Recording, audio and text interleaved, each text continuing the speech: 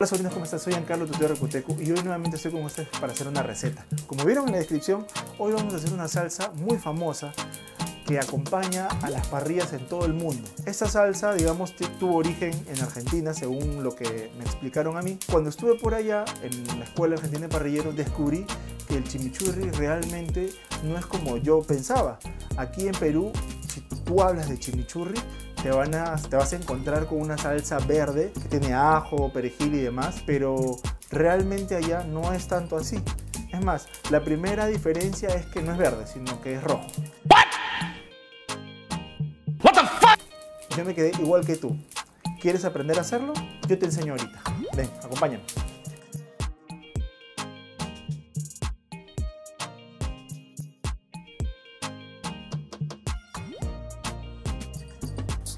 El chimichurri que conocemos aquí en Perú, que es este clásico verde que encuentras en restaurantes, que encuentras en supermercados, inclusive tú lo puedes hacer en tu casa. ¿Qué es lo que tiene? Te cuento qué es lo que tiene. Tiene ajo, perejil, aceite de oliva, un poquito de vinagre, sal, pimienta, nada más. En realidad esto en otros países o bueno, digamos, en Argentina esto no se conoce como chimichurri, sino se conoce como provenzal. Yo te voy a enseñar a hacer la versión de chimichurri que me, enseñaron a hacer a mí, porque versiones hay un montón.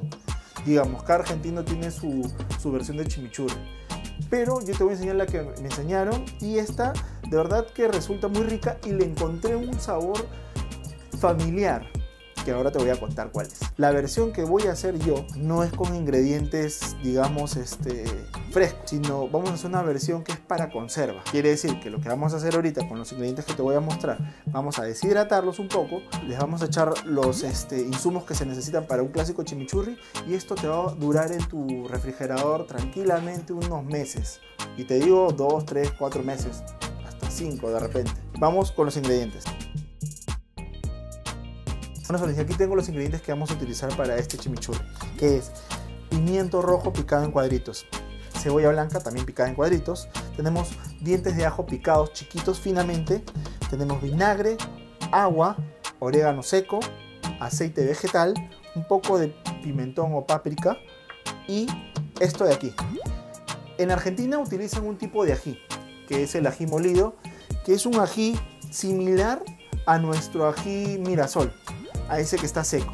Entonces, yo lo que he hecho aquí es darle una vuelta a todo esto y usar los ingredientes peruanos que tenemos acá para mezclárselos y queda buenazo. Esto es ají panca y ají mirasol. Tú vas al mercado, le pides a la señora que te dé esos que ya están secos, le das una pasada por la licuadora rapidito nomás y lo vas a tener así. Esto es lo que le da el color rojo, al igual que el pimentón al chimichurri y el saborcito que vas a obtener al final es muy muy rico y combina con distintos tipos de carne, con chorizos, qué sé yo.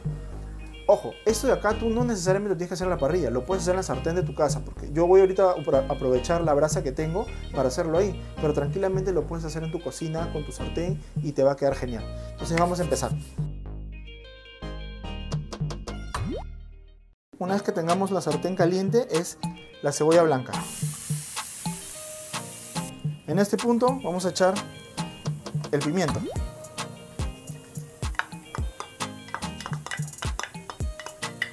Vamos a incorporar el ajo, el ajo picadito. Más o menos acá hay unos 8 dientes de ajo aproximadamente. Igual en la descripción les voy a dejar todas las cantidades. Un poco de sal de maras. Cuando nuestro ajo ya esté cocinado vamos a pasar a tirar los ingredientes secos. Pero todavía no, necesitamos que esto todavía sube un poco más, se deshidrate un poco más y una vez que esté así ya le ponemos lo demás. Vamos con los ingredientes secos. Primero un poco de orégano. Y lo movemos.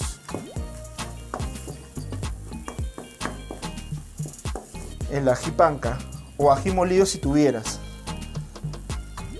Va a picar un poquito, pero de verdad que queda bien rico mezclamos un poco de pimentón o páprica. Y ahora vamos con los líquidos. Vinagre tinto.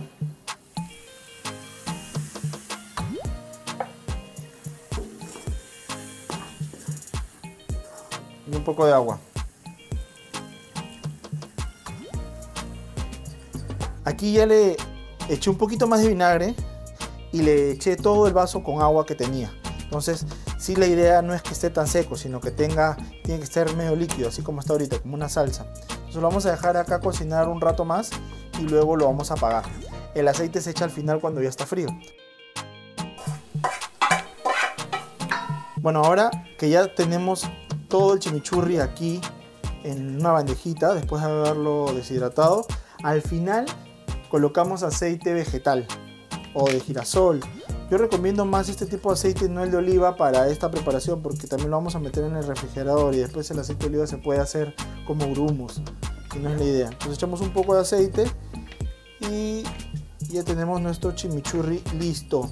Bueno, y ya tenemos nuestro chimichurri aquí, una vez que ya le echamos aceite, mi recomendación para que los sabores se potencien más y se concentren más, lo pongan en un pote así como este y lo pongan en la refrigeradora. Si vas a hacer tu chimichurri, recomiendo que lo hagas de un día para otro. Va a quedar mejor. Y con el pasar de los días va a quedar mucho más rico, de todas maneras.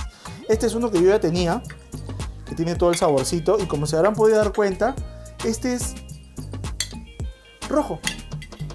¿Se acuerdan que les enseñé el otro? Aquí tienen la diferencia. Entonces esto digamos que sería una provenzal. Y este es tu chimichurri. El saborcito de este chimichurri es, digamos, similar al juguito del escabeche. O sea, como para que se hagan una idea a qué sabe.